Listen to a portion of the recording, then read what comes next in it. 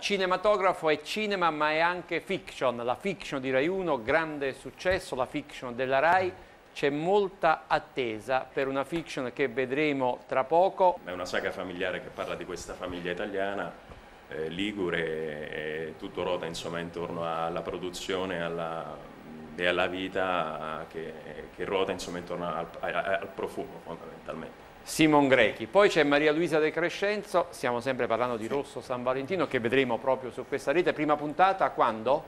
Il 23, martedì 23. Martedì, in prima serata. Io interpreto Flavia Danieli, la figlia di Giorgio, uno dei due figli.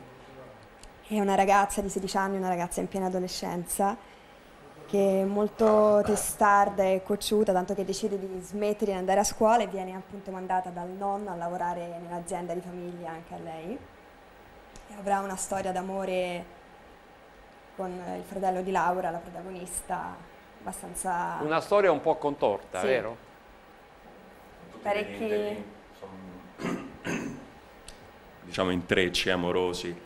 Io faccio la parte del cattivo tra virgolette, quindi diciamo rendo il tutto un po' più brioso e però ruota tutto intorno ad un amore fondamentalmente.